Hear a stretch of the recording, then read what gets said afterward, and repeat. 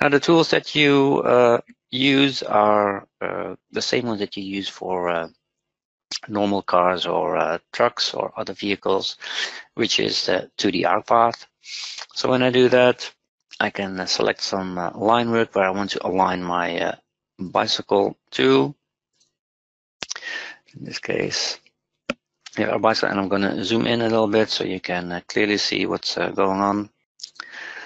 So over here we have uh, the bicycle I've uh, placed and aligned it. And when you look at the Smart Path Tools uh, dialog box, it looks very similar to uh, what you have for a normal vehicle. Here we have uh, the, the speed that you can influence. For this example, I will uh, have an, an average cycling speed of 12 kilometers per hour. Also, uh, compared to normal vehicles, you might be uh, known with the turning radius information.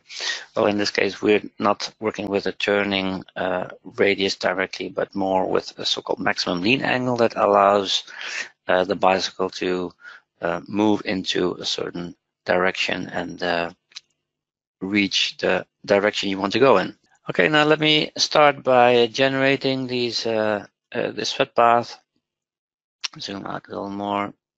So I'm using the center of this uh, path to uh, place the simulation in. So at this point, there's not much uh, specific and special going on with this uh, bicycle, but at some point, uh, in this case, I want to make a, a right turn, and as a a cyclist, I already um, yeah, want to anticipate on the turn that is about to come in, in this section.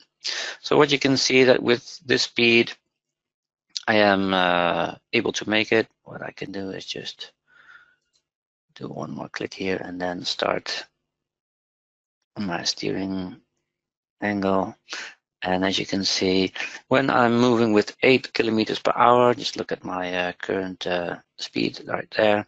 It's very easy to make this turn, but if maybe you want to check if also higher speeds are still uh, possible and if, yeah, uh, higher speeds are more common in, in these areas and you want to know if you need to increase and improve the infrastructure here to uh, achieve a safer uh, turn. Can also change the speed here, uh, which then influences the radii of this cyclist still. It's very doable to do this with 12 uh, kilometers per hour. Another thing you might want to uh, add, for example, in, in these kinds of scenarios is uh, that you add a little extra information uh, by uh, drawing uh, offset lines. In this case, if you have a normal curb here, some uh, flat uh, pavement besides that, maybe you want to see some pedal offsets. Let's take conservative 25 centimeters for that. And when you do that now, you can see that there's a little, um, some extra blue line work in place there, indicating the uh, offset distance from the pedals. And when you see that, then you can clearly see that it's quite safe for this uh, bicycle to continue on this path. And uh, let the bicycle continue into this direction.